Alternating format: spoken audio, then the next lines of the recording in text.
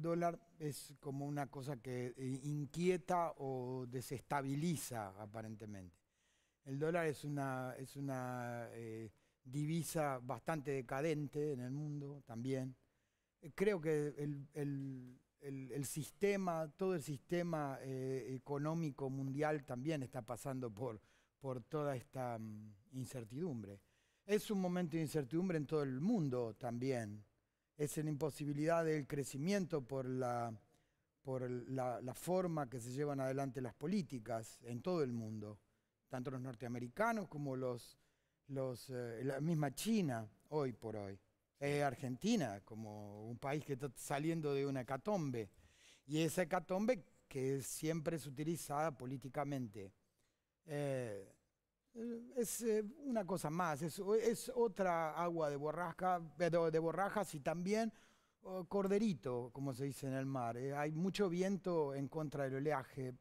Pasará, eh, nos acostumbraremos, sacaremos dos ceros, haremos todas las porquerías que hicimos los argentinos para sobrevivir a través de los años de ladrones que hemos tenido en los gobiernos y todo eso. Alfredo, te, te, quería transmitir como una eh, digamos, mucha gente que apoya al gobierno y ve todo el tema de la corrupción, este, vos viste que hoy el tema de la corrupción es como que el dólar tapó todo, ¿no? Fue como una marea que tapó todo. Es, es el vaivén, es un péndulo. Primero eh, tenemos lo, más vergonzoso y vamos a lo más cáustico y doloroso. Nosotros vamos de lo vergonzoso a lo, a lo cáustico, es, así. Cáustico de, corrosivo, ¿no? Que sería el dólar y todo lo demás.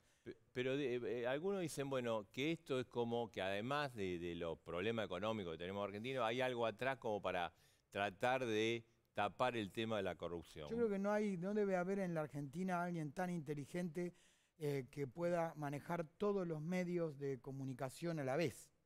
Porque, y es así, los medios de comunicación se ven en el problema de que tienen un, contralor y un veedor eh, clarísimo que es la gente por Internet.